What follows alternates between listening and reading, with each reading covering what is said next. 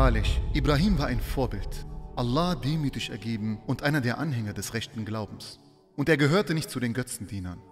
Er war dankbar für seine Gnade, so erwählte er ihn und leitete ihn auf den geraden Pfad. Und wir gaben ihm Diesseits Gutes und im Jenseits gehört er für wahr zu den Rechtschaffenen.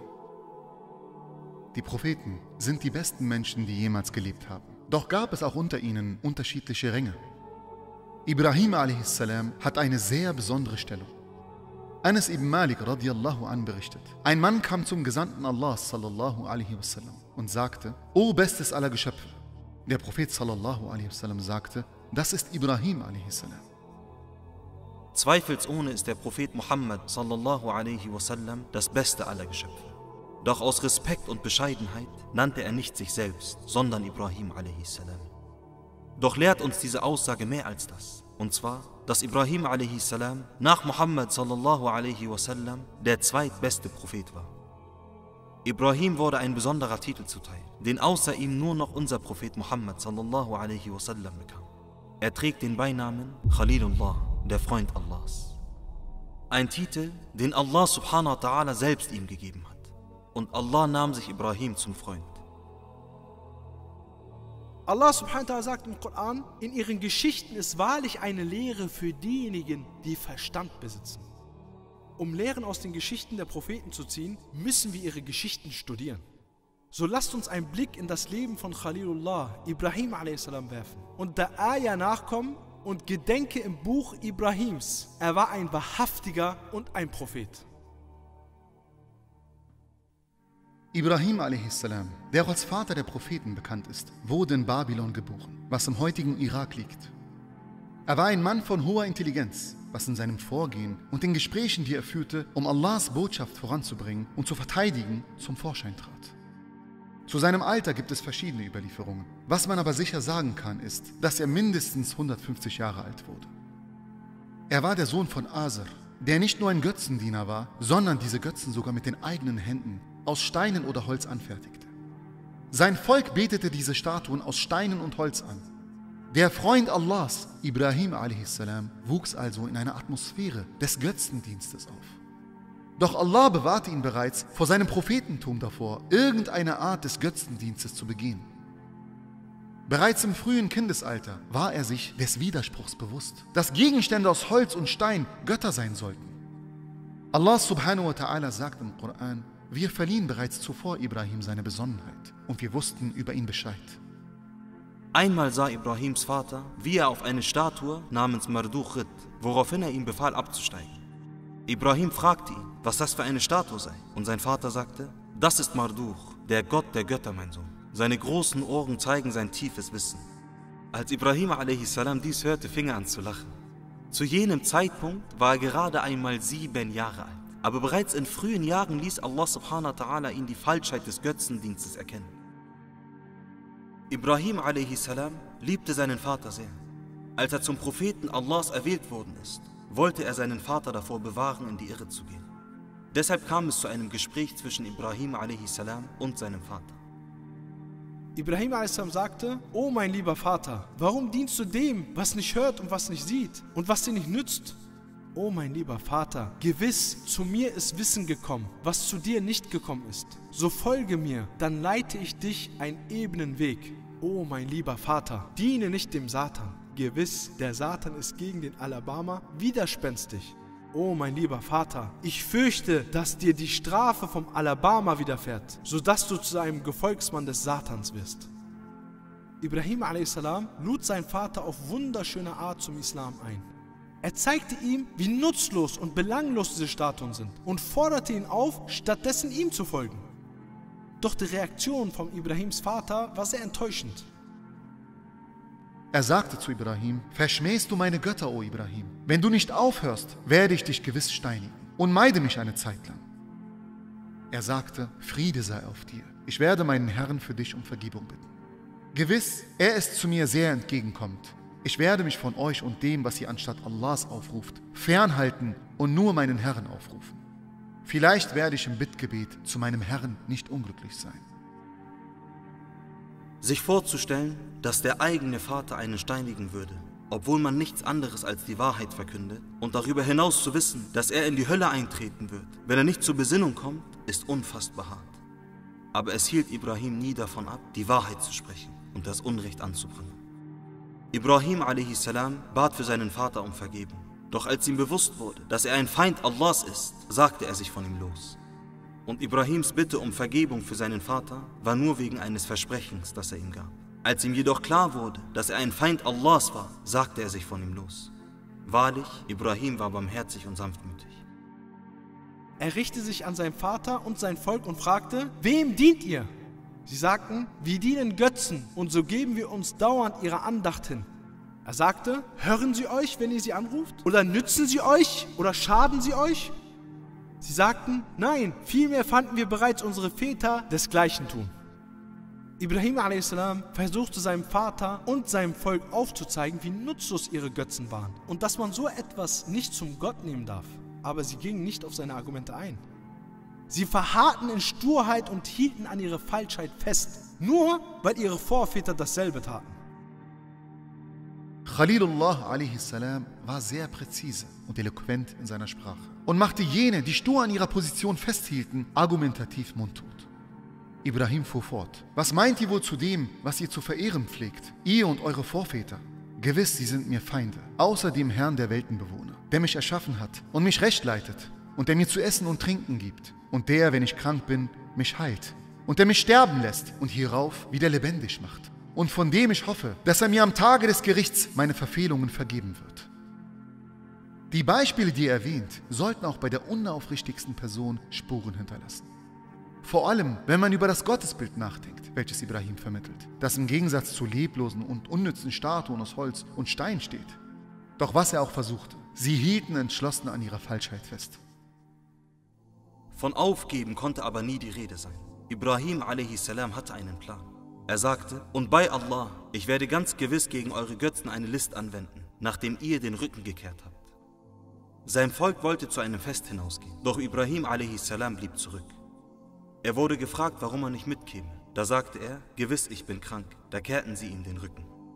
Er war nicht insofern krank, dass er gesundheitliche Probleme hatte. Was Ibrahim a.s. damit meint ist, dass es ihn krank macht, woran sie glauben und dass sie daran festhalten.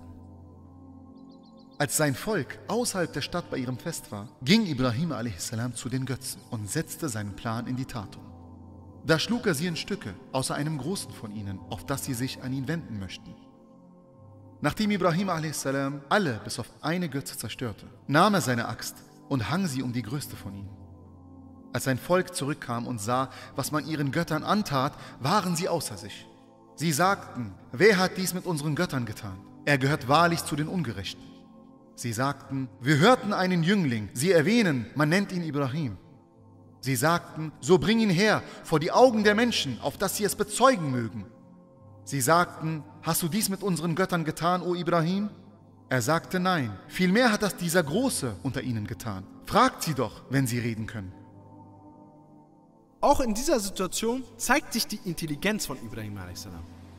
Er zerstörte die Götzen nicht nur, weil er Hass und Abneigung gegen sie verspürte, sondern um sein Volk erneut zu zeigen, dass sie nichts als leblose Statuen sind, die keine Anbetung oder die Bezeichnung Gott verdienen. Damit war nicht Schluss, denn raffiniert wie Ibrahim a.s. war, forderte er sie auf, die Götzen zu fragen, wer dafür verantwortlich gewesen ist. Seinem Volk war das Problem bewusst, weshalb sie ihm erwiderten, du weißt doch, dass sie nicht reden können. Er, Ibrahim a.s. sagte, dient ihr denn anstatt Allah dem, was euch nichts nützt und nicht schadet?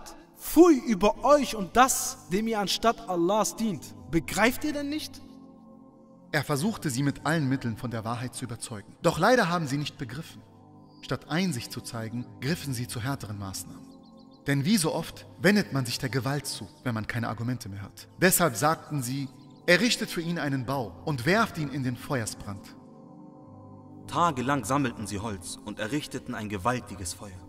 Ein Feuer, das so riesig war, dass Vögel, die darüber flogen, tot auf den Boden stürzten. Allahu Akbar. Das alles für einen jungen Mann, der für sie nichts anderes als die Rechtleitung wollte. Sie errichteten ein Katapult, mit dem sie Ibrahim a.s. ins Feuer werfen wollten. Als sie dann Ibrahim a.s. ins Feuer warfen, sagte er nur, Hasbunallah wa ni'mal wakil. unsere Genüge ist Allah und wie trefflich ist der Sachverwalter. In so einer Situation, die aussichtsloser nicht sein könnte, wandte er sich mit diesen edlen Worten an seinen Herrn. Wo die meisten in Panik ausbrechen würden, war Ibrahim a.s. die Ruhe selbst. Denn er wusste, dass er Allah subhanahu wa ta'ala auf seiner Seite hat und dass man nichts anderes als ihn braucht. Sie wollten mit einer List gegen ihn vorgehen, doch da machten wir sie zu den Unterlegenen. Wie machte Allah subhanahu wa ta'ala sie zu den Unterlegenen? Wir sagten, O Feuer, sei Kühlung und Unversehrtheit für Ibrahim. Allah subhanahu änderte die Eigenschaft des Feuers, das eigentlich alles verschlingen würde, was es berührt, und ließ es für Ibrahim a.s. kühl und angenehm sein. So stand Allah subhanahu Ibrahim bei und vereitete die Pläne seines Volkes.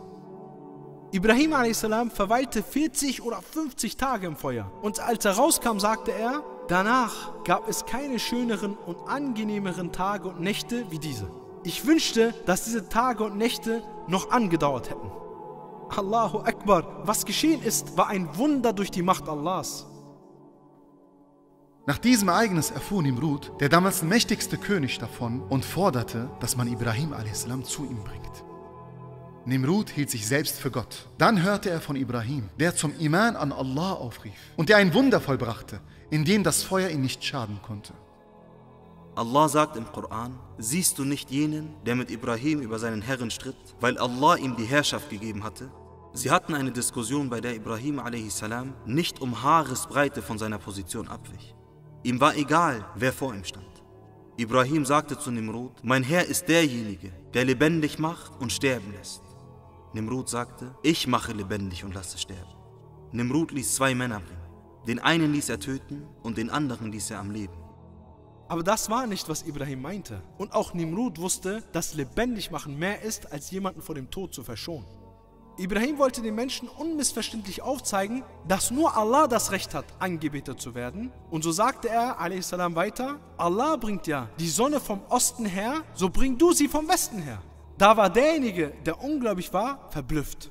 Ein weiteres Mal zeigt uns Allah im Koran, mit welcher Überlegenheit Ibrahim a.s. seinen Widersacher argumentativ in die Knie zwingt. Denn Nimrud hatte dem Gesagten nichts mehr entgegenzusetzen. Trotz der Arbeit, die Ibrahim a.s. leistete, um die Menschen zu überzeugen, folgten ihm nur seine Frau Sarah und sein Neffe Lut a.s., der später selbst auch zum Propheten ernannt wurde. Sie wanderten gemeinsam aus. Auf ihrem Weg gingen sie durch Haran und Ägypten. Sarah wusste, dass Ibrahim a.s. den Wunsch nach Kindern hatte. Jedoch war sie nicht in der Lage, Kinder zu bekommen. So schenkte sie ihm Hajar, die ihm mit Allahs Erlaubnis Ismail a.s. als Sohn gab. Zu jenem Zeitpunkt war Ibrahim a.s. bereits 86 Jahre alt. Ibrahim a.s. sagte zu seiner Frau Hajar, dass sie sich und ihren Sohn für eine lange Reise vorbereiten soll. Nach einiger Zeit kamen sie an einem Ort an, an dem weit und breit nichts als Wüste war. Keine Menschen, keine Häuser und kein Leben das damalige Mekka. Es war zu jener Zeit und an jenem Ort, als Allah subhanahu wa ta'ala Ibrahim den Befehl gab, seine Frau Hajar und seinen Sohn Ismail, der noch ein Säugling war, zu verlassen. Er ließ sie mit einem Sack Datteln und etwas Wasser inmitten des Nichts zurück, was normalerweise den sicheren Tod für die beiden bedeuten würde. Hajar rief ihm hinterher, O Ibrahim, wo willst du hin? Wirst du uns in dieser Wüste allein lassen? Doch Ibrahim a.s. antwortete nicht. Sie fragte mehrere Male, doch Ibrahim a.s. antwortete nicht, bis sie erkannte, was vor sich ging. O Ibrahim, hat dir Allah dies befohlen? Er bejahte, woraufhin Hajar zufrieden sagte, dann wird er uns nicht im Stich lassen. Und so zog Ibrahim a.s. weiter und ließ Hajar und Ismail auf Allahs Befehl hin zurück. Als er so weit von ihnen entfernt war, dass sie ihn nicht mehr sehen konnten, wandte er sich Richtung Kaaba, hob seine Hände und sprach folgende Dua.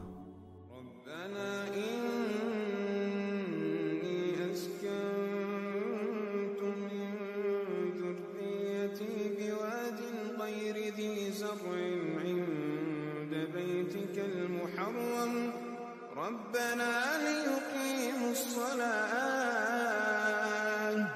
فاجعل أفئدة من الناس تهوي إليهم وارزقهم من الثمرات لعلهم يشكرون Unser Herr, ich habe einige aus meiner Nachkommenschaft in einem Tal ohne Pflanzungen bei deinem Haus wohnen lassen. Unser Herr, damit sie das Gebet verrichten. So lasse ihre Herzen einiger Menschen sich ihnen zuneigen und versorge sie mit Früchten, auf dass sie die Dankbaren sein mögen. Hajar begann ihr Sohn Ismail zu stillen und von dem Wasser zu trinken. Als aber das Wasser aufgebracht war und sie keine Milch mehr für Ismail hatte, wurde ihr Sohn und sie durstig. Sie lief zum nächsten Berg Es-Safa, bestieg ihn und hielt Ausschau nach irgendeiner Menschenseele, doch vergebens. Dann lief sie in Richtung des Berges El-Marwa, bestieg ihn, doch wieder niemand in Sichtweite. Dies wiederholte sich siebenmal in der Hitze der Wüste und ohne Wasser. Als sie dann wieder beim Berg El-Marwa war, hörte sie eine Stimme und erblickte einen Engel, der mit seinem Fuß oder mit seinem Flügel in der Erde grub, bis Wasser aus ihr hervorquoll. Dies war die Quelle des Semsemswasser. Je mehr Wasser sie davon auffüllte, desto mehr sprudelte es heraus. Sie trank vom Wasser und stillte Ismail.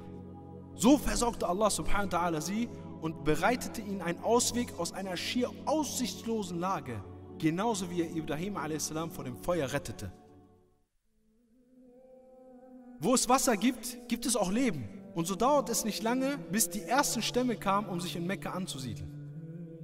Langsam entwickelte sich aus dem bis dahin verlassenen Ort eine Stadt mit einer richtigen Gesellschaft, in der Hajar und Ismail lebten und in der sie ihn großzog.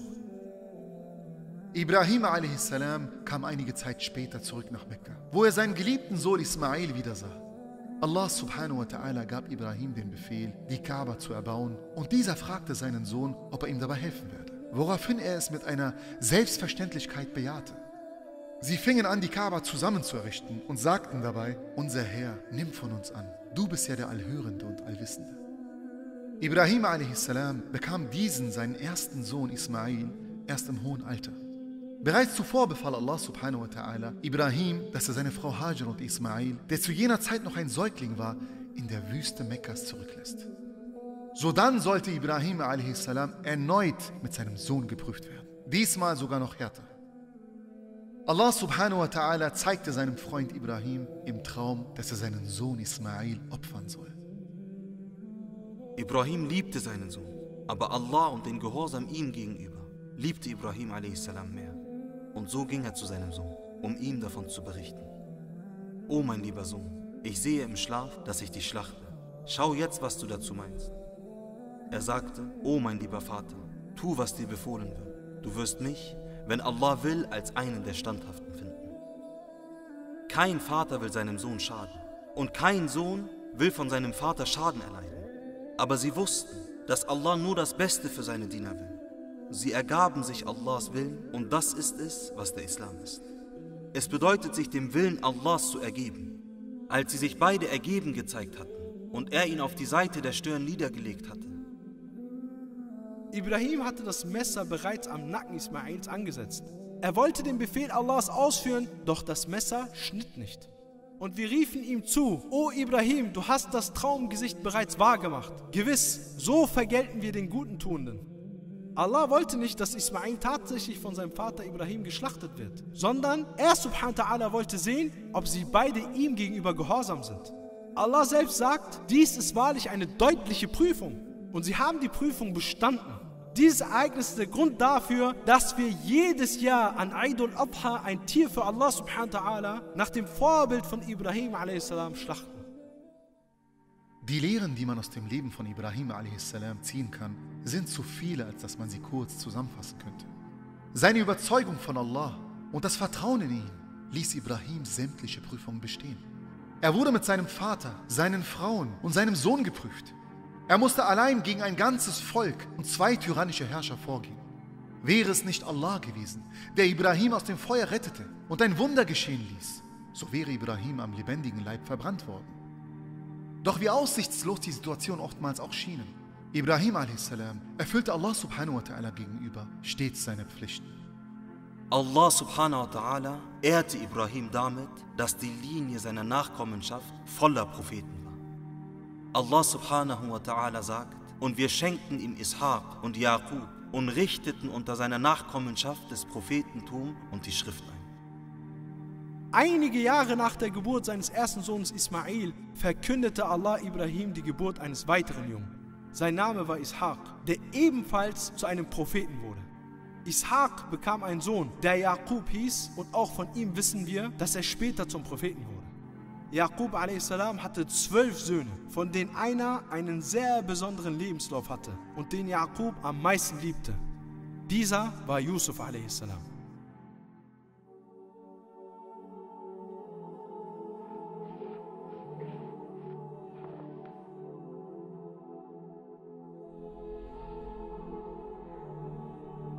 Der Prophet sallallahu alaihi wasallam sagte, der Edle, der Sohn des Edlen, des Sohnes des Edlen, des Sohnes des Edlen ist Yusuf salam. Der Sohn Jakubs, der Sohn Ishaqs, der Sohn Ibrahims salam. Ibrahim salam hatte zwei Söhne, Ismail salam, welcher die Kaaba zusammen mit seinem Vater baute, und Ishaq salam, der Masjid al-Aqsa erbauen sollte. Ishaq salam lebte im heutigen Palästin. Sein Sohn war Yaqub a.s. und dessen Sohn war Yusuf a.s. Allah subhanahu wa ta'ala erhob sie alle zu Propheten und berichtet uns die schönsten Geschichten über sie. Eine dieser schönsten Geschichten handelt vom Leben Yusufs a.s. So beginnt Allah subhanahu wa ta'ala die Sura, welche um Yusuf handelt, mit Wir erzählen dir die schönste der Geschichten, indem wir dir diesen Koran offenbaren, obwohl du zuvor unter denen warst, die keine Kenntnis besaßen. Jakub a.s. hatte zwölf Söhne. Seine zwei jüngsten Söhne waren Yusuf a.s. und Benjamin, die von seiner Frau Rahel stammten. Die anderen Söhne stammten nicht von ihr. Folglich waren sie nur die Halbbrüder Yusufs a.s. Jakub a.s. liebte seine beiden jüngsten Söhne. Doch Yusuf a.s. war es, den er am meisten liebte. Das war der Anlass dafür, dass die zehn älteren Brüder eifersüchtig auf Yusuf a.s. wurden. Eines Tages erzählte Yusuf a.s. seinem Vater von einem Traum. O mein Vater, ich sah elf Sterne und die Sonne und den Mond. Ich sah sie sich für mich niederfallen. Sein Vater erkannte die Bedeutung dieses Traumes. Ihm war bewusst, dass Allah subhanahu wa ta'ala Yusuf eine große Ehre erweisen würde.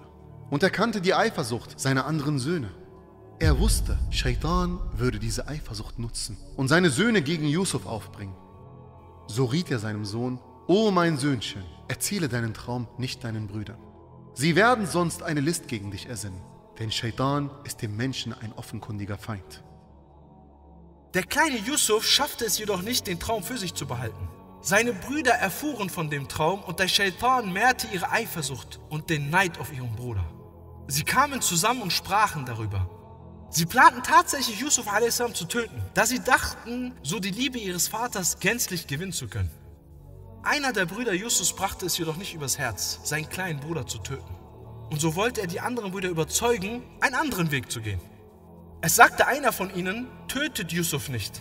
Wenn ihr aber vorhabt, etwas zu unternehmen, dann werft ihn in die Tiefe eines Brunnens. Möge jemand von den Reisenden ihn herausziehen.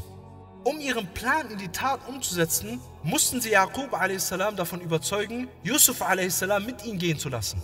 Obwohl Jakub a.s. dagegen war, willigt er schweren Herzens ein. Nun zogen die Brüder mit Yusuf a.s. davon. Sie kamen an einen Brunnen an und warfen Yusuf a.s. hinein.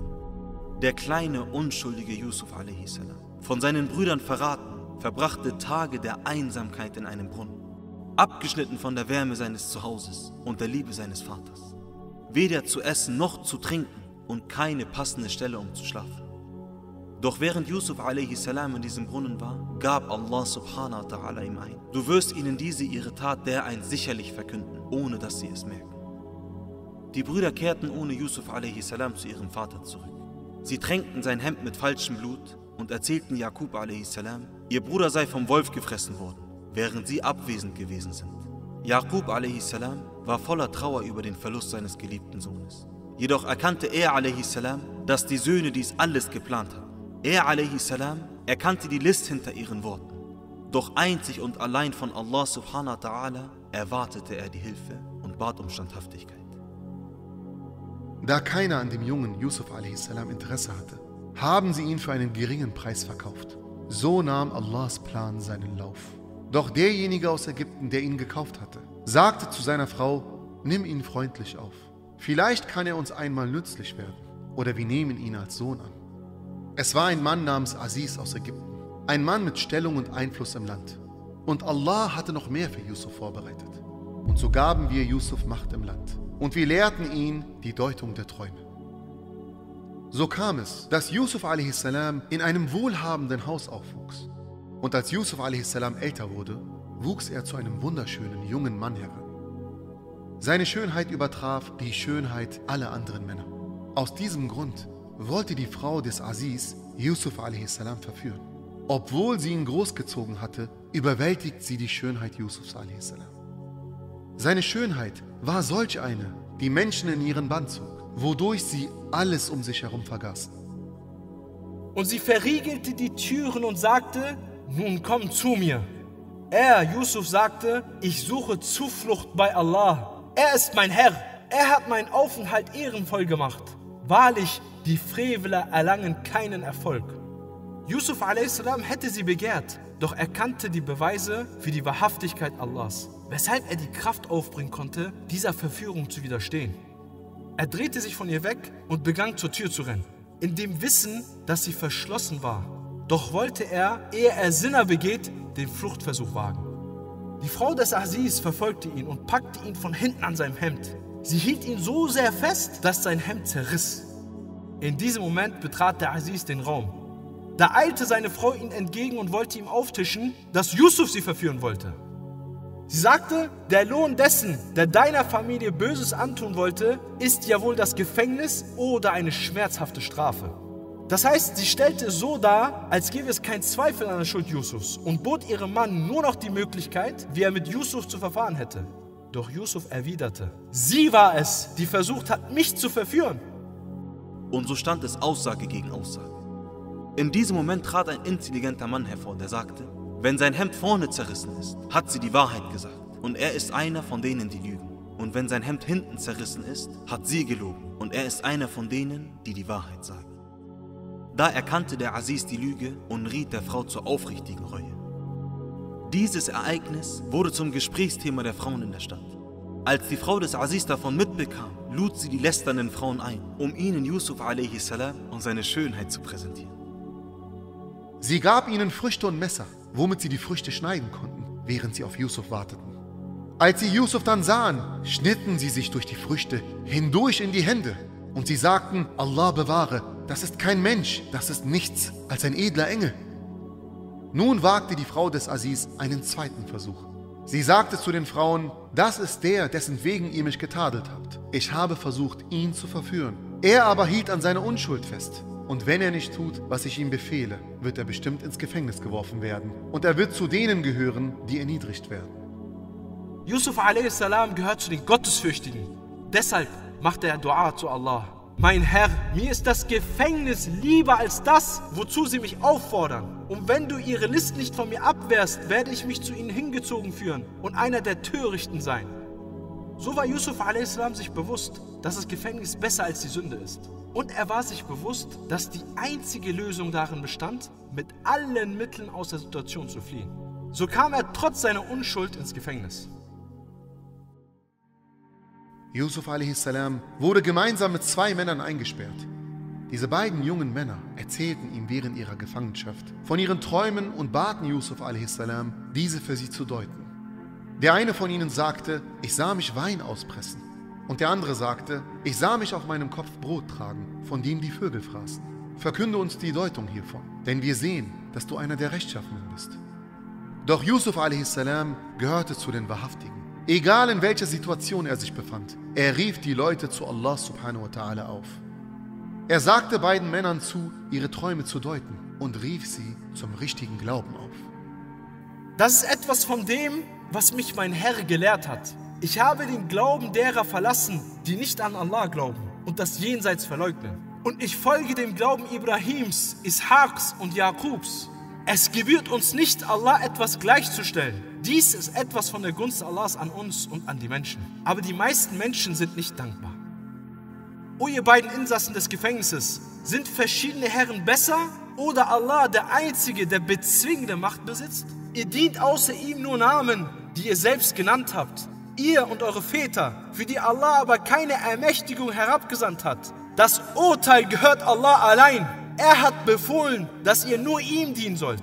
Das ist die richtige Religion aber die meisten Menschen wissen nicht Bescheid. Erst nachdem er zu Allah subhanahu wa ta'ala aufgerufen hat, deutete er a.s. ihre Träume. O ihr beiden Insassen des Gefängnisses, was den einen von euch anbelangt, so wird er seinem Herrn Wein ausschenken. Und was den anderen anbelangt, so wird er gekreuzigt werden, sodass die Vögel von seinem Kopf fressen. Die Sache, worüber ihr Auskunft verlangt, ist beschlossen. Und so geschah es. Der eine wurde gekreuzigt und der andere wurde zum Mundschenk des Königs. Yusuf a.s. beauftragte denjenigen, der freikommen würde, damit seine Geschichte beim König zu erwähnen, auf dass ihm Gerechtigkeit widerfahren möge. Doch sobald er frei war, vergaß er Yusuf a.s. Und dieser a.s. blieb noch einige Jahre im Gefängnis.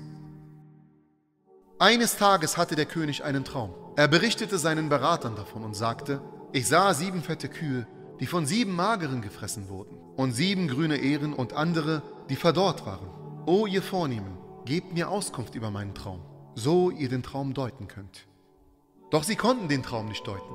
Da erinnerte sich der Mundschenk des Königs an Yusuf a.s. Er eilte zu ihm a.s. und bat ihn, den Traum des Königs zu deuten.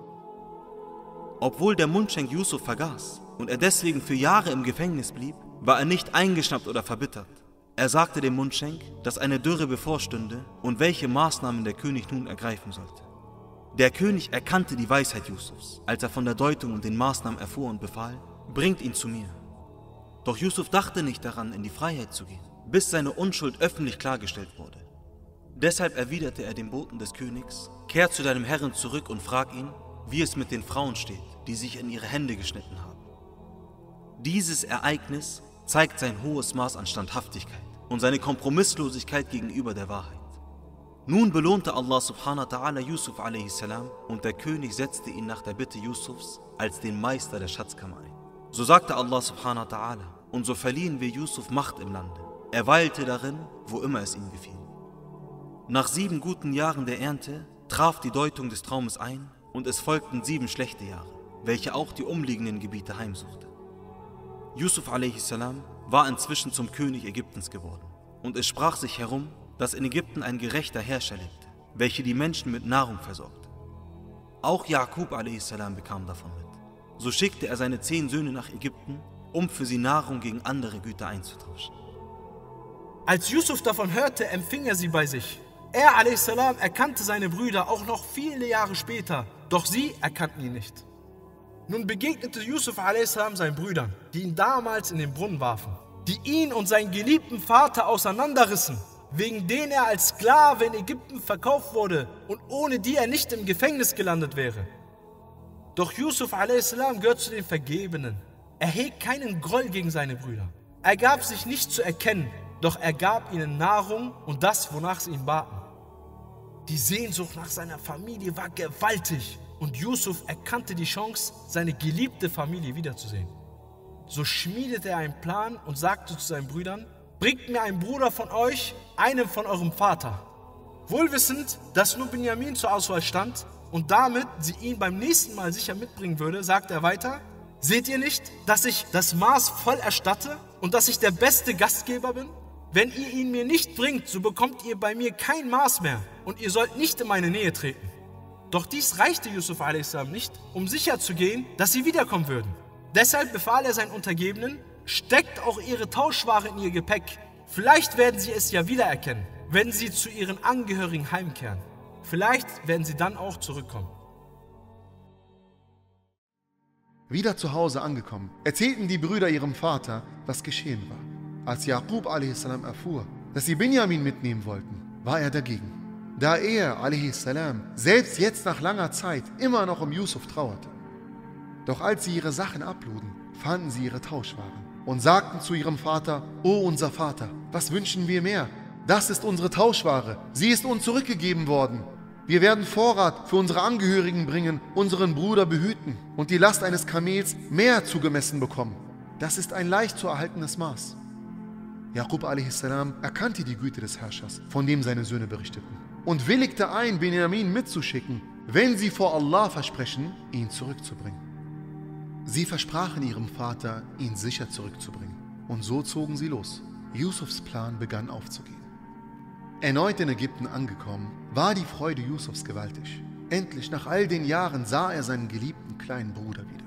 Er nahm Benjamin zu sich und sagte ihm, ich bin dein Bruder. So sei nicht traurig über das, was sie taten. Noch bevor die Brüder wieder abreisen konnten, fuhr Yusuf a.s. mit seinem Plan fort. Um Benjamin bei sich zu behalten, versteckte er sein Trinkgefäß im Gepäck von Benjamin. Ein Rufer hielt sie auf und rief, ihr da von der Karawane, ihr seid ja Diebe. Verwundert erwiderten die Brüder, was vermisst ihr? Wir vermissen den Kelch des Königs. Bei Allah, ihr wisst es, wir sind nicht gekommen, um im Land Unheil zu stiften, und wir sind keine Diebe. Was ist die Vergeltung dafür, wenn ihr lügt? Die Vergeltung dafür ist, dass der, in dessen Gepäck er gefunden wird, selbst die Vergeltung dafür sein soll. Der Plan von Yusuf ging immer weiter auf. Der Kelch wurde bei Benjamin gefunden und so mussten die Brüder die schwere Nachricht ihrem Vater überbringen. Als Jakub a.s. davon erfuhr, erahnte er bereits, dass Allah subhanahu wa ta'ala ihn nicht mit zwei Söhnen prüfen würde. Und so sagte er zu seinen Söhnen, Eure Seele hat euch etwas eingeredet. Es gilt, schöne Standhaftigkeit zu üben. Möge Allah sie mir alle zurückbringen. Doch die Situation erinnerte ihn an damals, als Yusuf a.s. verschwand. Und so sagte er zu sich selbst, Oh, wie voller Bedauern ich doch um Yusuf bin. Und seine Augen wurden weiß vor Trauer und er unterdrückte sein Bedauern. Als seine Söhne dies mitbekamen, sagten sie, bei Allah, du hörst nicht auf, Yusuf zu gedenken, bis du bald zusammenbrichst oder zu denen gehörst, die zugrunde gehen. Hierauf lehrte Jakub a.s. sie eine Weisheit. Ich klage ja mein Kummer und meine Trauer nur Allah allein. Und ich weiß von Allah, was ihr nicht wisst. O meine Söhne, geht und erkundigt euch nach Yusuf und seinen Bruder. Und verliert nicht die Hoffnung, dass Allah Aufatmung verschafft. Die Hoffnung, dass Allah Aufatmung verschafft, verlieren nur die ungläubigen Leute. Und so schickte Jakub a.s.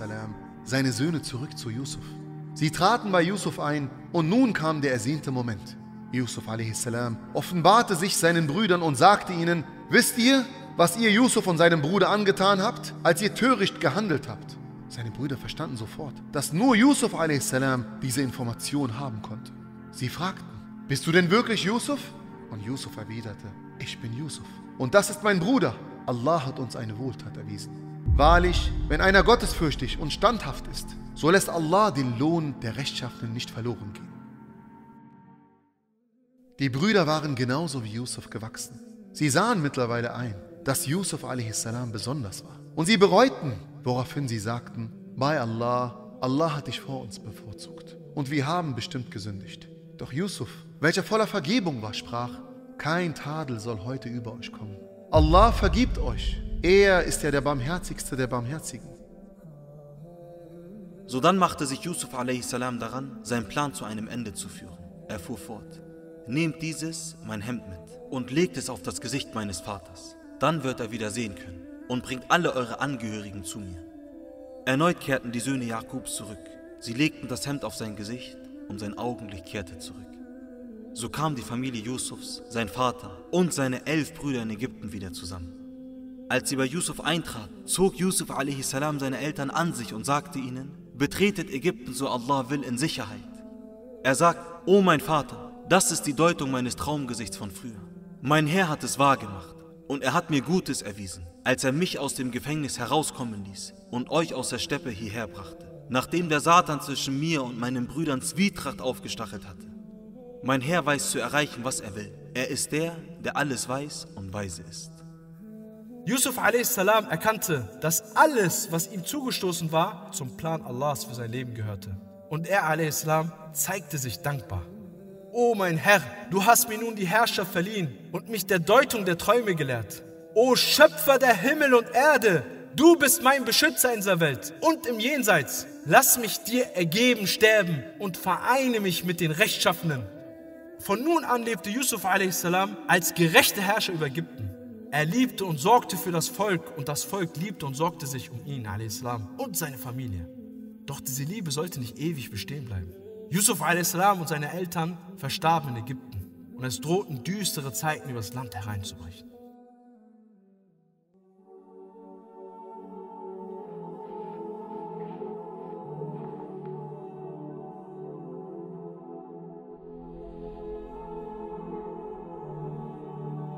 Yusuf a.s. und seine Familie lebten gemeinsam in Ägypten. Und dort kehrten sowohl Jakub a.s. als auch Yusuf a.s. zu ihrem Schöpfer zurück. Die Nachkommen der Familie Yusufs vermehrten sich und die Liebe der Ägypter für die Nachkommenschaft Yusufs wandelte sich in Verachtung und Neid. Eben diese Nachkommen waren es, die später als Bani Israel bekannt wurden. Der Hass wuchs, bis letztlich einer der tyrannischsten Herrscher der Geschichte das Zepter in die Hand nahm. Er beschloss, alle männlichen Säuglinge Bani Israels zu töten. Hier beginnt die Geschichte eines der großartigsten Propheten.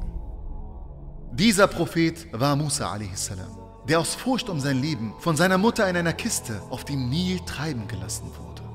Musa a.s., ein Prophet, der zahlreiche Wunder vollbrachte und dessen Leben unzählige, lehrreiche Ereignisse erzählt. Der kleine Musa a.s. wurde an eine Stelle geschwemmt, an der er von der Frau Pharaons gefunden wurde. Sie wollte ihn im Schloss unter der Obhut Pharaons aufziehen. Der Plan Allahs nahm seinen Lauf. Musa a.s. wuchs im Haus Pharaons auf.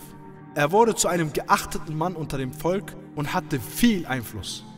Doch trotz seiner hohen Stellung war Musa a.s. mitleidig und verabscheute das Unrecht. Eines Tages sah er mit an, wie ein Ägypter und ein Sklave von Beni Israel stritten. Musa a.s. schritt ein, um die Angelegenheit zu klären, doch es kam zu einem Durcheinander. Musa a.s. verpasste den Ägypter einen Stoß und dieser starb daraufhin.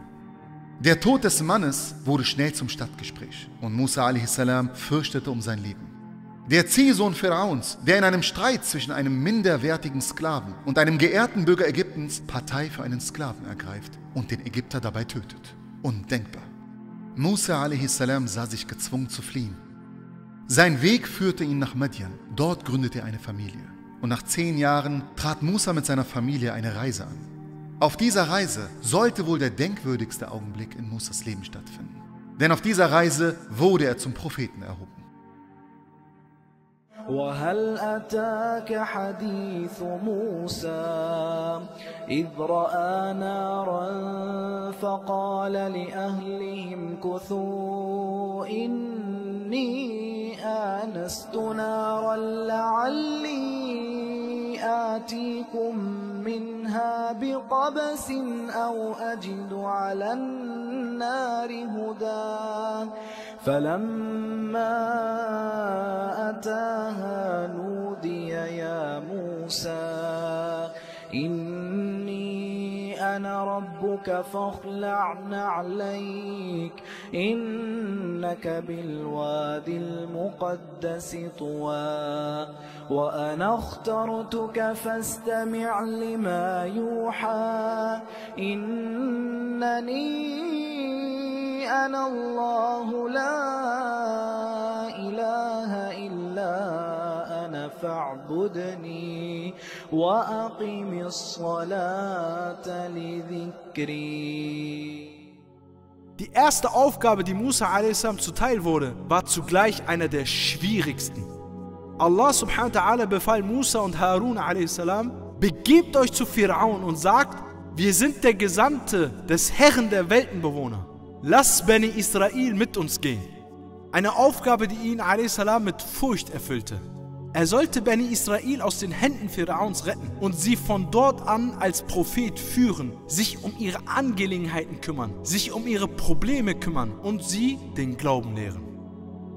Die Herausforderung, der Musa a.s. sich stellen musste, sollte mit einigen Problemen einhergehen. So kam es zu einem Duell zwischen Musa a.s. und den besten Zauberern Ägyptens. Der Tag war ein ganz spezieller. Eure Verabredung soll der Tag des Schmuckfestes sein und die Menschen sollen am hellen Morgen versammelt werden.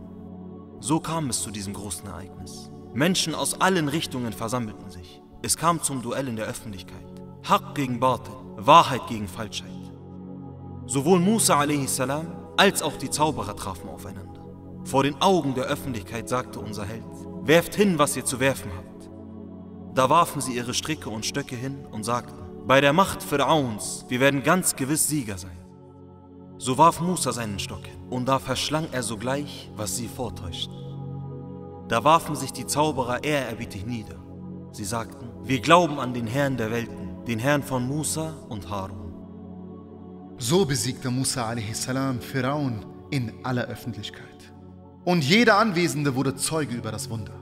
Da geriet Pharaon unter enormen Druck. Musa a.s. forderte ihn auf, sein Volk aus der Knechtschaft zu befreien. Doch Pharaon verhielt sich rebellisch, zornig und konnte nicht glauben, dass seine Autorität in Frage gestellt wurde. Niemals würde er Bani Israel ziehen lassen. Die Berater Pharaons sagten zu ihm, Willst du zulassen, dass Musa und sein Volk auf der Erde Unheil stiften und dass er dich und deine Götter verlässt? Er sagte, wir werden ihre Söhne allesamt töten und ihre Frauen am Leben lassen. Wir haben ja Gewalt über sie. So nahm die Unterdrückung Bani Israels zu. Sie wurden noch mehr geknechtet. Sie verloren die Hoffnung, befreit zu werden. Doch der liebevolle Musa a.s. tröstete diejenigen, die unter der Folter litten und motivierte sie. Fleht Allah um Hilfe an und seid standhaft. Wahrlich, die Erde ist Allahs. Er vererbt sie unter seinen Dienern, wem er will, und der Ausgang gehört den Gottesfürchtigen. Diese Worte erreichten sie jedoch nicht. Sie waren nicht bereit, Opfer für ihre Befreiung zu bringen. Und sie haben nicht verstanden, dass sie kurz vor der Erlösung standen. So sagten sie zu Musa a.s., wir litten ehe du zu uns kamst und nachdem du zu uns gekommen bist. Obwohl sie Musas Bemühungen keinen Wert beigemessen hatten, ermutigte Musa a.s. Beni Israel und versuchte ihnen Hoffnung zu schenken. So sagte er zu ihnen, Euer Herr möge bald eure Feinde zugrunde gehen lassen und euch die Herrschaft im Land geben. Als Ermahnung für Pharaon und sein Volk ließ Allah subhanahu wa ta'ala einen Weckruf über Ägypten kommen. Das sonst so fruchtbare Land, wie in der Zeit Yusufs a.s., litt nun unter einer Dürre. Doch anstatt einsichtig zu werden, gaben sie die Schuld für die Dürre Musa a.s. In der Tat gaben sie Musa a.s. die Schuld für alles Schlechte, was ihnen passiert. Und egal welche Ermahnung zu ihnen kam, so sagten sie, was du uns auch immer für ein Zeichen bringen magst, um uns damit zu bezaubern, wir werden dir doch nicht glauben. Die Zeit der Ermahnung fand nun ein Ende. Allah subhanahu wa ta'ala ließ nun eine Strafe über sie kommen. Fünf Plagen, welche das Land und die Bevölkerung in die Verzweiflung treiben würden. Da sandten wir die Flut über sie, die Heuschrecken, die Läuse, die Frösche und das Blut. Durch diese Plagen erkannten sie ihre eigene Machtlosigkeit. Sie erkannten, dass weder Pharaon noch sonst irgendjemand ihnen helfen könnte. Deshalb kamen sie zu Musa a.s. und sagten, Ja Musa, bete für uns zu deinem Herrn und berufe dich auf das, was er dir verhieß. Wenn du die Strafe von uns wegnehmen lässt, so werden wir dir ganz gewiss glauben und Bani Israel mit dir ziehen lassen. Doch sie brachen ihr Versprechen und Musa a.s. trat mit seinem Volk die Flucht an. Auf dieser Flucht erreichten sie das Meer, während Pharaon und seine Soldaten ihnen dicht auf den Fersen waren. Wieder einmal machte sich Verzweiflung unter Bani Israel breit. Musa a.s. war jedoch zuversichtlich und voller Hoffnung. Die Gefährten Musas sagten, wir werden ganz sicher eingeholt. Doch Musa antwortete, keineswegs, denn mit mir ist mein Herr, er wird mich leiten. Und dies tat Allah subhanahu wa ta'ala und gab ihm ein, schlag mit deinem Stock auf das Meer. Da türmte sich das Meer zu gewaltigen Bergen auf. Es öffnete sich ein Pfad, durch den Beni Israel das Meer durchqueren konnte und ihre Verfolger inmitten des Weges vom Meer verschluckt wurden. Die Feinde Beni Israels waren vernichtet, ihre Unterdrückung fand ein Ende und sie mussten keine Verfolgung mehr fürchten. Die ständige Angst vor Folter und Tod nahm ein Ende. Dies hätte ein strahlender neuer Morgen sein können. Doch sie waren Stadtmenschen, die das raue Leben der Wüste nicht gewohnt waren. Die Hitze setzte ihnen zu und sie wussten nicht, wie sie dort Essen finden sollten. Da erwies Allah ihnen zwei weitere Gnaden. Wir ließen die Wolken euch überschatten und sandten Al-Manna und die Wachteln auf euch hinab. Qatada sagt über Al-Manna, Al-Manna, welches weißer als Milch und süßer als Honig war, regnete auf Bani Israel zwischen der Morgendämmerung und dem Sonnenaufgang herab, so wie Schnee fällt. Sie wussten nicht, woher sie Wasser bekommen sollten. Deshalb beklagten sie sich bei Musa a.s. und sie baten ihn, Allah um Wasser zu bitten. Allah akzeptierte Musas Dua und sagte zu ihm, schlag mit deinem Stock auf den Felsen. Da entsprangen ihm zwölf Quellen und so wusste jeder, wo er seinen Durst stillen konnte. Bani Israel hatte alles bekommen, wonach sie verlangten. Doch die lange Knechtschaft verdarb sie. Und ihre Natur war wie die eines Kindes. Sie waren wenig dankbar, beschwerten sich häufig. Sie liebten, was ihnen verboten war, verabscheuten, was ihnen gegeben wurde, und sie waren stur.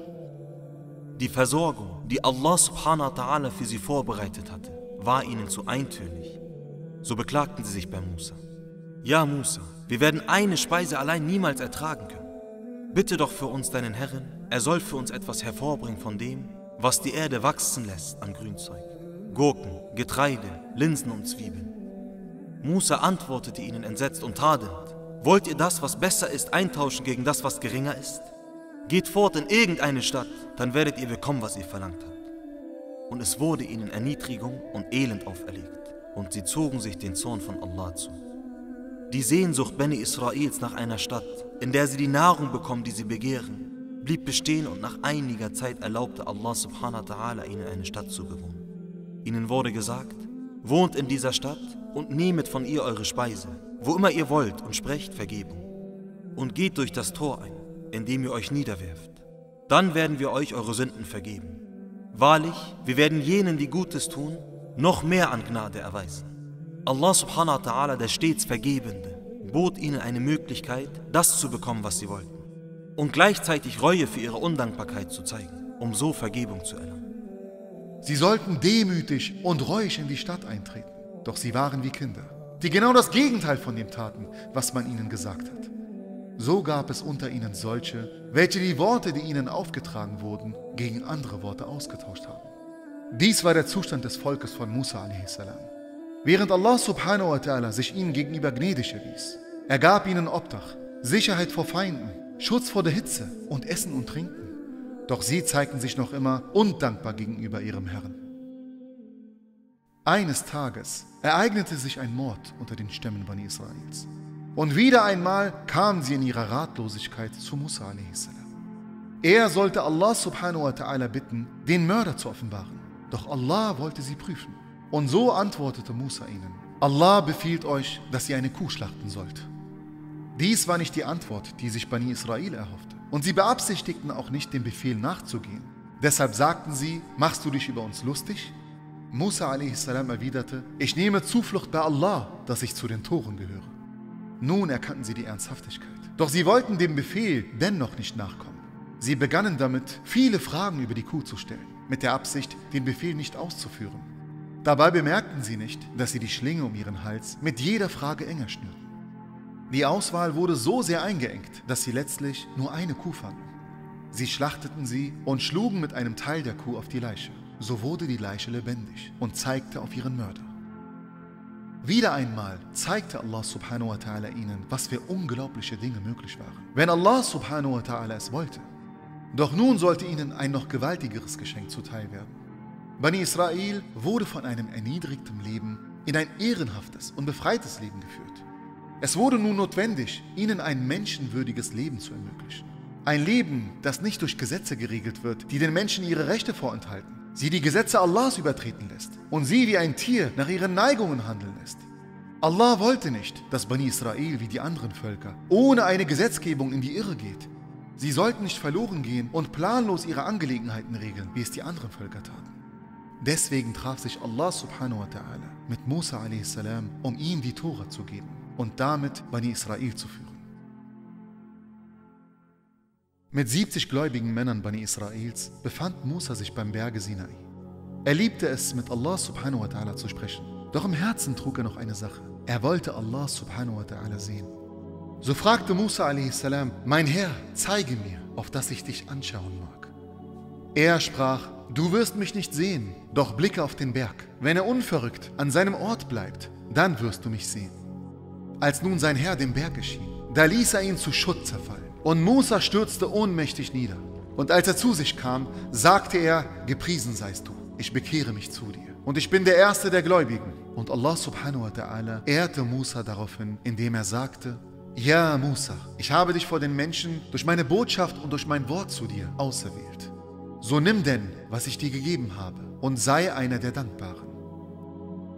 Mit der Botschaft Allahs kehrte Musa zu seinen Gefährten zurück. Doch sie verweigerten sich und sagten, ja Musa, wir werden dir nicht eher glauben, bis wir Allah unverhüllt sehen. Subhanallah, obwohl sie erlebten, was mit dem Berg geschehen war. Da schickte Allah einen Donnerschlag, der sie allesamt tötete. Trotz der Unverschämtheit der Leute gegenüber Allah und Musa a.s. machte er Dua für sie.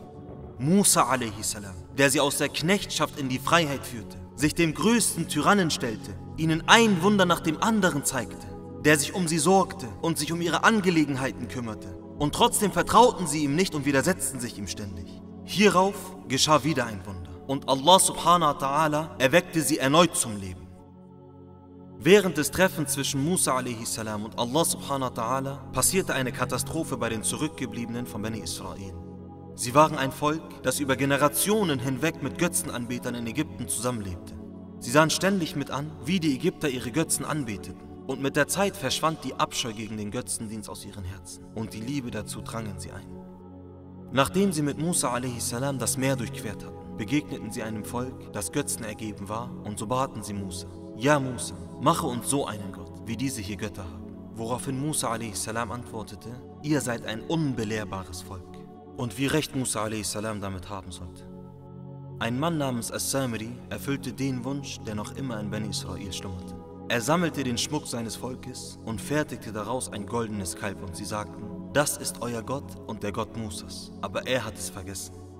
Was für eine Ungerechtigkeit gegenüber dem Herrn der Welten und was für eine Erniedrigung. Hätten sie sich doch nur an die Argumente Ibrahims erinnert. Sehen sie denn nicht, dass er ihm kein Wort erwidert und ihn weder Schaden noch Nutzen zu bringen vermag? Als Musa a.s. zurückkehrte, gestand As-Samiri, woraufhin Musa a.s. ihm einer heftigen Strafe aussetzte. Er wurde einsam und allein ins Exil geschickt. Es durfte ihm kein Mensch jemals mehr nahe kommen. Er wurde zu einem Leben in Einsamkeit verdammt. Sodann wandte sich Musa a.s. Bani Israel zu. O mein Volk, ihr habt euch selbst Unrecht zugefügt, indem ihr das Kalb genommen habt. Bereut nun vor eurem Erschaffer und tötet dann euch selbst. Dies ist besser für euch vor eurem Erschaffer. Und da nahm er eure Reue an. Er ist ja der Reueannehmende und Barmherzige. Allah subhanahu wa ta'ala hat trotz ihres Götzendienstes nach diesen ganzen Ereignissen, der Befreiung aus der Knechtschaft, in ein Leben voller Sicherheit, der gastfreundschaftlichen Aufnahme mitten in der Wüste, dem Beleben von Toten, eine Tür der Reue für sie offen gelassen. Subhanallah. Und da nahm er eure Reue an. Er ist ja der Reueannehmende und Barmherzige. Gibt es da für uns noch einen Grund, wegen unserer Fehler hoffnungslos zu werden? Niemals. So verging die Zeit, während Beni Israel mit Musa a.s. in der Wüste lebte, bis sie das heilige Land erreichten. Allah gestattete Beni Israel dort zu leben und Musa a.s. wünschte sich diese Ehre für sein Volk, dem Volk, in das er so viel Mühe und Kraft investiert hat. Im heiligen Land lebte ein tyrannisches Volk, welches zuerst vertrieben werden musste und er a.s. wusste über die feige Natur Beni Israels Bescheid. Sie waren es gewohnt, sich unterzuordnen und alles über sich ergehen zu lassen ohne nach dem, was ihnen zusteht, zu verlangen, geschweige denn dafür zu kämpfen. Deshalb wollte Musa a.s. sie motivieren und sagte, O mein Volk, gedenkt der Gunst Allahs an euch, als er unter euch Propheten einsetzt und euch zu Königen machte und euch gab, was er niemanden anderen der Weltenbewohner gegeben hat. Ihm war bewusst, dass der Sieg versprochen war und sie nur noch danach hätten greifen müssen. O mein Volk, tretet in das geheiligte Land ein, das Allah für euch bestimmt hat. Doch sagte er auch, und kehrt nicht den Rücken, denn dann werdet ihr als Verlierer zurückkehren. Doch Beni Israel weigerte sich aus Furcht vor den Tyrannen. Sie antworteten Musa a.s. Ja, Musa, in ihm ist ein übermächtiges Volk. Wir werden es gewiss nicht betreten, bis sie aus ihm herausgehen. Wenn sie aus ihm herausgehen, dann wollen wir es gewiss betreten. Sie wollten kein Risiko eingehen. Sie wollten alle Annehmlichkeiten ohne Erschwernis. Musa a.s. sollte die Last tragen, bis sie in Sicherheit und unversehrt eintreten können. Er a.s. war immer liebevoll, aufmerksam, mitleidig und besorgt, wohingegen sie egoistisch, untreu, stur und spöttisch waren. So sagten sie zu Musa a.s. Ja Musa, gewiss werden wir es niemals betreten, solange sie darin sind. Geh doch du und dein Herr und kämpft. Wir werden hier sitzen bleiben. Diese Antwort ließ Musa a.s. an Bani Israel verzweifeln von dem Volk im Stich gelassen, dem er so oft geholfen hat, wegen derer er so viele Probleme durchgemacht hatte und denen er dennoch immer wieder wohlwollend und liebevoll begegnet ist. Es betrübte ihn so sehr, dass er sagte, mein Herr, ich habe ja nur Macht über mich selbst und meinen Bruder, darum scheide uns von dem Volk der Frevler. Und Allah subhanahu wa ta'ala, welche seine Diener mehr liebt als eine Mutter ihr Kind, nahm sich Musa a.s. liebevoll, wegweisend und tröstend an, indem er sprach, Gewiss, so soll es ihnen denn für 40 Jahre verwehrt sein, sie auf der Erde umherirren. So sei nicht betrübt über das Volk der Frevler. Sie konnten sich trotz der Befreiung aus dem Elend der Knechtschaft nicht vor einem armseligen Leben bewahren. Und so verdammten sie die nächste Generation dazu, unter diesen schwierigen Umständen inmitten der Wüste aufzuwachsen. So verbrachte Musa a.s. die letzten Jahre seines Lebens in der Wüste. Es wird berichtet, der Engel des Todes wurde zu Musa gesandt. Als er bei Musa ankam, schlug ihm dieser in sein Auge. Der Engel kehrte zu seinem Herrn zurück und sagte, du hast mich zu einem Diener geschickt, der nicht sterben will. Allah sagte, kehre zu ihm zurück und sage ihm, er solle seine Hand auf den Rücken eines Ochsen legen. Und für jedes Haar, das darunter kommt, wird ihm ein Jahr Leben gewährt.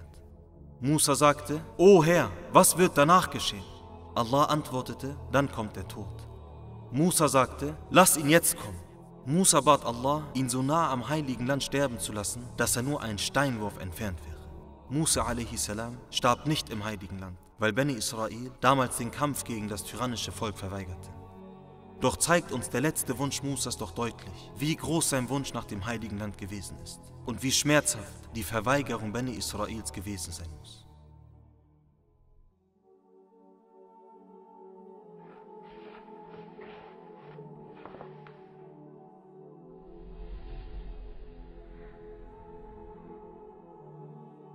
Nach dem Tod Musas a.s. vermehrten sich die Nachkommen Bani Israels. Sie zogen weiter durch die Wüste und mit der Zeit verteilten sie sich über die ganze Welt. Schon bald sollten sie von dem, was Musa a.s. sie lehrte, abweichen. Und Allah subhanahu wa ta'ala sandte ihnen neue Propheten. Viele Propheten wurden von ihnen verleumdet, der Lüge bezichtigt oder sogar getötet.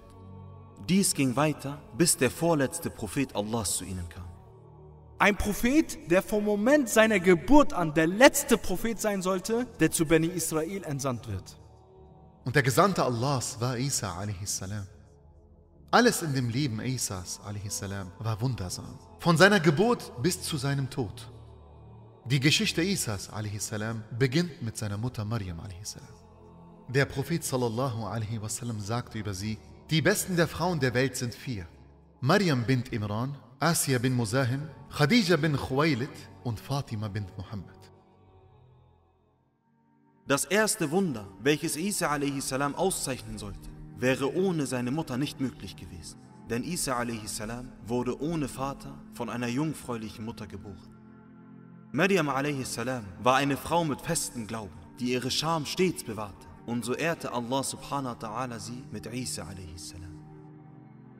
Eines Tages kam Jibril a.s. zu ihr und sagte, Ja Maryam, Allah verkündet dir ein Wort von ihm, dessen Name Al-Masih Isa, der Sohn Maryams ist, angesehen im Diesseits und Jenseits und einer der Nahegestellten.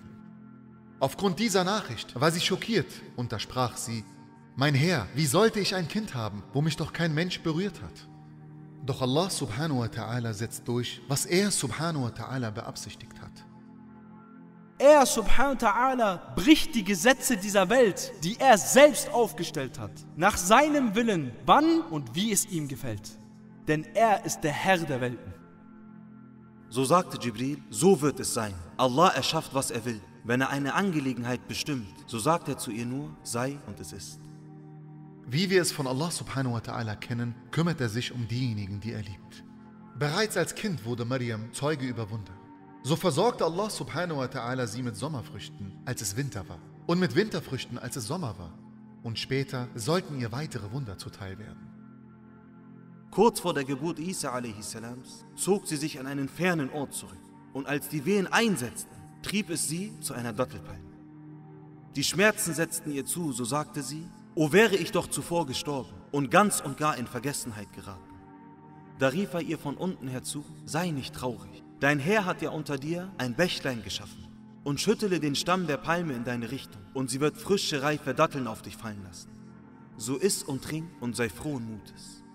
Allah subhanahu wa ta'ala wusste schon, dass die Menschen kein Argument Mariams akzeptieren würden. Sie hätte sagen können, was sie wollte. Die Menschen hätten ihr doch nicht geglaubt. Und so wurde ihr aufgetragen. Und wenn du einen Menschen siehst, dann sprich, ich habe dem Allerbarmer zu fasten gelobt. Darum will ich heute mit keinem Menschen reden. Als sie dann Isa a.s. zur Welt brachte und mit ihm a.s. zu ihrem Volk kam, da begannen die Menschen ihr Vorwürfe zu machen und beschuldigten sie, sie begangen zu haben. Doch sie zeigte daraufhin auf Isa a.s., welcher sodann sprach, ich bin wahrlich Allahs Diener. Er hat mir die Schrift gegeben und mich zu einem Propheten gemacht. Und gesegnet hat er mich gemacht, wo immer ich bin. Und angeordnet hat er mir, das Gebet zu verrichten und die Abgabe zu entrichten, solange ich lebe. und gütig gegen meine Mutter zu sein. Und er hat mich weder gewalttätig noch unglücklich gemacht. Und der Friede sei auf mir am Tag, da ich geboren wurde, und am Tag, da ich sterbe, und am Tag, da ich wieder zum Leben auferweckt werde. Isa a.s. wuchs in ärmlichen Verhältnissen auf, sodass er stets lernte, genügsam und dankbar zu sein. Mit der Zeit wuchs Isa a.s. zu einem Mann heran. Die Gelehrten sagen über sein Aussehen, dass er dunkelhäutig war, wie in dieser Region üblich. Er hatte schönes, welliges und langes Haar und eine breite Brust. Als Mann begann er die Botschaft Allah subhanahu wa ta'ala an die Menschen heranzutragen und sie zur Anbetung des einzig Anbetungswürdigen aufzurufen, wie bereits die Propheten vor ihm. Allah subhanahu wa ta'ala sagt darüber im Koran, und wir ließen auf ihren Spuren Isa, den Sohn Mariams, folgen, das zu bestätigen, was von der Tora vor ihm offenbart war. Und wir gaben ihm das Evangelium, in dem Rechtleitung und Licht sind, und das zu bestätigen, was von der Tora vor ihm offenbart war, und als Rechtleitung und Ermahnung für die Gottesfürchtigen. So wie es üblich ist, wurden die Bücher und Regeln der vorherigen Gesandten durch die Schrift, die Isa a.s. gegeben wurde, ersetzt. So kam Isa a.s. zu seinem Volk und sagte, und das zu bestätigen, was von der Tora vor mir offenbart war, und um euch einiges von dem zu erlauben, was euch verboten war. Wie jeder Prophet erhielt auch Isa a.s. Wunder, mit denen er sein Volk überzeugen konnte. Die Wunder Allahs waren stets solche, die zu dem Volk passten, zu dem der Prophet geschickt wurde. Zur Zeit Musas a.s. gab es viele Zauberer, welche die Zauberei wie kaum andere beherrschten. So forderte Allah sie genau darin heraus, damit ihnen die Wahrheit ohne jeglichen Zweifel deutlich wird. So war es auch zur Zeit Isas a.s. Das, womit sich die Menschen beschäftigten, war die Medizin bzw. Heilkunde. So sagte Isa a.s. zu seinem Volk, Gewiss, ich bin ja mit einem Zeichen von eurem Herrn zu euch gekommen, dass ich euch aus Lehm schaffe, wie die Gestalt eines Vogels. Und dann werde ich ihm einhauchen, und da wird es ein Vogel sein. Und ich werde mit Allahs Erlaubnis den Blindgeborenen und den Weißgefleckten heilen und werde Tote mit Allahs Erlaubnis wieder lebendig machen. Und ich werde euch kundtun, was ihr esst und was ihr in euren Häusern aufspeichert. Doch wie zu jeder Zeit gab es welche, die die Wunder nicht annehmen und die Propheten nicht akzeptierten. Viele beharrten auf ihr Unglauben, selbst nachdem sie die Wunder gesehen hatten. Als Isa aber ihren Unglauben wahrnahm, sagte er, wer sind meine Hilfe auf dem Weg hin zu Allah? Die Jünger sagten, wir sind Allahs Helfer. Wir glauben an Allah und bezeugen, dass wir ihm ergeben sind. Unser Herr, wir glauben an das, was du als Offenbarung herabgesandt hast und folgen dem Gesandten. So schreibe uns auf unter die Zeugnisablegenden. Mit diesen Gefährten machte sich Isa a.s. auf eine Reise. Er machte sich auf den Weg, um die verstreuten Schafe Bani Israels wieder zu versammeln, sodass er sich ihrer Betreuung widmen könnte. Eine besondere Eigenschaft Isas war es, dass er sich von dieser Dunja nicht verzaubern ließ, sondern sich ihr enthielt. Er a.s. war genügsam und pflegte wenig zu essen. Seine Gefährten aber waren anderes gewohnt. Die Strapazen der Reise setzten ihnen zu. Und zugleich waren sie es gewohnt, ein Wunder nach dem anderen zu erleben, da sie Bani Israel angehörten und so sagten sie, Ja Isa, Sohn der Mariam, ist dein Herr imstande, uns einen Tisch vom Himmel herabzusenden? Diese Frage erzürnte Isa a.s. Denn einerseits distanzierten sie sich selbst von Allah, indem sie sagten, dein Herr. Andererseits wusste Isa um die Geschichte seines Volkes Bescheid. Zum einen verlangten sie, wie ihre Vorväter zur Zeit Musas, Versorgung vom Himmel, doch zeigten sie sich damals undankbar gegenüber der Gnade Allahs. Und zum anderen wollten sie Allah subhanahu wa ta'ala auf die Probe stellen, indem sie sagten, ist dein Herr imstande? Deshalb erwiderte Isa a.s. aufgrund seines Wissens über sie auf angemessene Weise, fürchtet Allah, wenn ihr Gläubige seid. Seine Jünger sagten dann, wir wollen davon essen und unsere Herzen sollen beruhigt sein. Und wir wollen wissen, dass du in Wahrheit zu uns gesprochen hast und wollen selbst dafür Zeugnis ablegen. Isa a.s. kam der Bitte seiner Jünger nach und bat seinen Herren als auch ihren Herren, ja Allah, unser Herr, sende uns einen Tisch mit Speisen vom Himmel herab, dass er ein Fest für uns sei, für den ersten von uns und den letzten von uns, und ein Zeichen von dir, und versorge uns, denn du bist der beste Versorger. Und so zeigte sich Allah subhanahu wa ta'ala gnädig und freigebig. Siehe, ich will ihn zu euch niedersenden.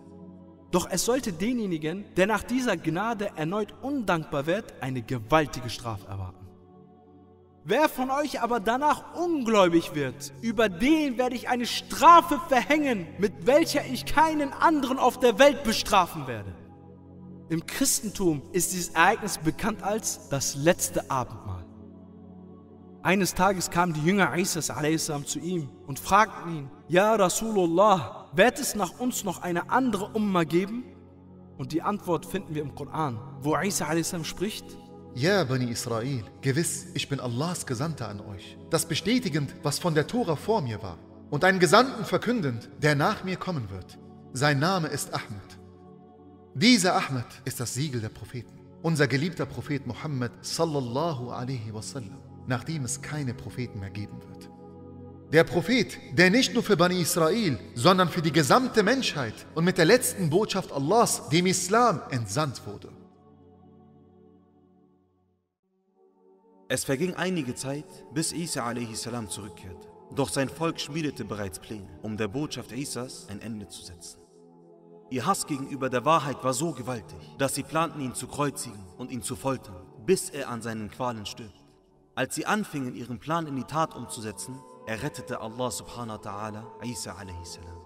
Er tauschte ihn mit einer ihm ähnlich aussehenden Person aus und erhob ihn zu sich in den Himmel empor. So sagte Allah subhanahu wa ta'ala, Ja Isa, ich werde dich nunmehr abberufen und dich zu mir emporheben und dich von denen, die ungläubig sind, reinigen. Sie dachten, sie hätten Isa a.s. gekreuzigt und ihr Plan wäre erfolgreich gewesen. Sie sagten mit voller Sicherheit, Gewiss, wir haben Al-Masih, Isa, den Sohn Mariams, den Gesandten Allahs getötet. Doch hatten sie vergessen, wer hinter Isa a.s. stand. Es ist der allwissende und allmächtige Allah subhanahu wa ta'ala. Sie hatten geplant und Allah hat geplant und Allah subhanahu wa ta'ala aber ist der beste Planer. So deckt Allah subhanahu wa ta'ala auf, worin sie sich getäuscht haben. Aber sie haben ihn weder getötet noch gekreuzigt, sondern es erschien ihnen so. Und diejenigen, die sich darüber uneinig sind, befinden sich wahrlich im Zweifel darüber.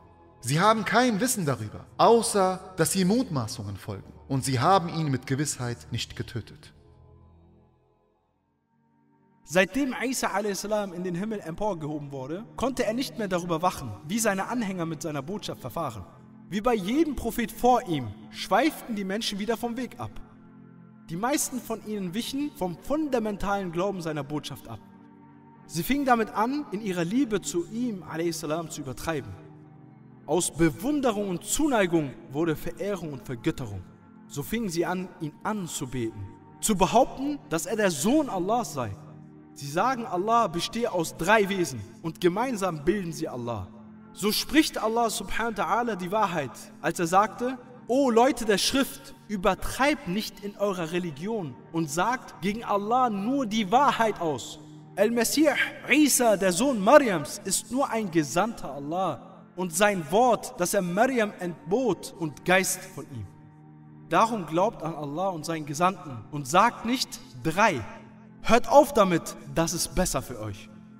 Allah ist nur ein einziger Gott. Preis sei ihm und erhaben ist er darüber, dass er ein Kind haben sollte. Ihm gehört alles, was in den Himmeln und was auf der Erde ist. Und Allah genügt als Sachwalter. Zur Zeit der Nachtreise begegnete der Gesandte Allah sallallahu alaihi wasallam Isa alaihi salam und sie sprachen über die Stunde. Da sagte Isa alaihi salam, wann es stattfinden wird, weiß niemand außer Allah. Dann erwähnte er Dajjal und sagte, ich werde hinabsteigen und ihn töten. Dann werden die Leute in ihr eigenes Land zurückkehren und werden auf Ya'juj und Ma'juj treffen. Nachdem Isa a.s. diese gewaltige Aufgabe bewältigen wird, erwartet ihn bereits ein weiteres Übel. Denn während des Kampfes gegen den Dajjal werden Ya'juj und Ma'juj über die Erde herfallen. Sie werden auch Isa a.s. und die Gläubigen, die mit ihm sind, finden. Ya'juj und Ma'juj werden sie belagern, bis Isa a.s. Allah subhanahu wa ta'ala darum bitten wird, sie zu vernichten. Und Allah subhanahu wa ta'ala wird seine Bitte akzeptieren. Die Stunde steht nun kurz bevor und die lange Lebensfrist Isas a.s. kommt zu einem Ende. Nachdem Yajuj und Ma'juj verschwunden sind, wird Allah einen Wind senden, der die Seelen aller Gläubigen mit sich nehmen wird und nur noch boshafte Menschen zurücklässt. Doch wer meint, die Sorgen dieses reinen Propheten hätten nun ein Ende, der täuscht sich. Die Menschen, die behaupteten, Isa a.s. am meisten geliebt zu haben, sind es, die ihm die größte Angst und Sorge bereiten werden. weil sie ihn zu etwas gemacht haben, was er nicht ist. Ihm Dinge zugeschrieben haben, die ihm nicht gebühren und ihm einen Rang gegeben haben, der nur einem einzigen gehört. Am Tag des jüngsten Gerichts, einem Tag, dessen Schrecken den Menschen alles vergessen lässt und er in Sorgen ertrinkt. Allah subhanahu wa ta'ala wird sprechen. Ja, Isa, Sohn Mariams, bist du es, der zu den Menschen gesagt hat, nehmt mich und meine Mutter außer Allah zu Göttern? In was für eine unangenehme Situation Isa a.s. doch gebracht wurde. Eines der reinsten Geschöpfe, die Allah subhanahu wa ta'ala je erschaffen hat. Und nun muss er a.s. Rechenschaft ablegen wegen dem, was ihm zugeschrieben wurde. Isa a.s. antwortet Allah subhanahu wa ta'ala, Preis sei dir, es steht mir nicht zu, etwas zu sagen, wozu ich kein Recht habe. Wenn ich es gesagt hätte, dann wüsstest du es bestimmt. Du weißt, was in mir vorgeht, aber ich weiß nicht, was in dir vorgeht. Du bist ja der Allwissende der verborgenen Dinge. So dann spricht Isa a.s. sich frei von jeder Verunstaltung seiner Botschaft, welche seine Anhänger begangen haben. Ich habe ihnen nur gesagt, was du mir befohlen hast. Dient Allah, meinem und eurem Herrn, und ich war über sie Zeuge, solange ich unter ihnen weilte. Seitdem du mich abberufen hast, bist du der Wächter über sie. Du bist über alles Zeuge. Wenn du sie bestrafst, sind sie deine Diener. Und wenn du ihnen verzeihst, bist du wahrlich der Allmächtige, der Weise. Und Allah subhanahu wa ta'ala weiß sehr wohl, dass Isa a.s. keine Schuld trägt. Und so wird ihm gestattet, den Paradiesgarten Allahs zu betreten, الجنة.